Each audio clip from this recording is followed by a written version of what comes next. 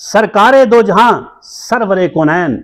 हज़रत मोहम्मद मुस्तफ़ा सल्लल्लाहु अलैहि वसल्लम फरमाते हैं कि जो शख्स इलम की तलबो जिस्तजू में मर जाए और उसकी नीयत नेक हो तो वह अपने इलम से इस्लाम को ज़िंदा करेगा। तो क्यामत के दिन जन्नत में उसके और अंबिया के दरमियान सिर्फ़ एक दर्जे का फ़र्क रह जाएगा।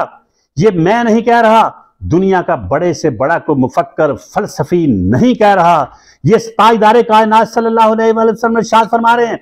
आपकी बात में किसी किस्म का शक नहीं। जो शक करता है वो मुसलमान ही नहीं।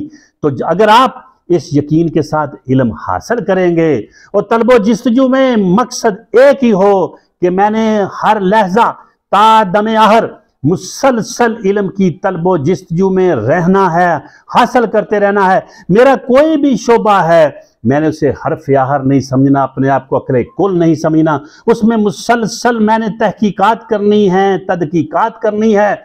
मैंने मुदक्क बनना है महक्क बनना है, रिसर्चर बनना है, लगे रहना है।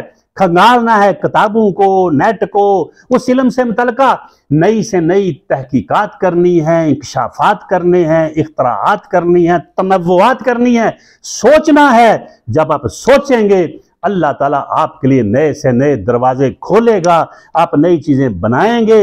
हाँ शोभा कोई भी हो, ऐसी ही सोच, फ़िक्र रखने वाला, जिसका मकसद हर लहजा इलम हासिल करना, फैलाना हो उसके बारे में फरमाया कि वह अपने इस्लाम, इलम से इस्लाम को ज़िंदा करेगा और फिर जन्नत में भी उसके और अम्बिया के दरमियान सिर्फ़ एक दर्जे का फ़र्क रह जाएगा।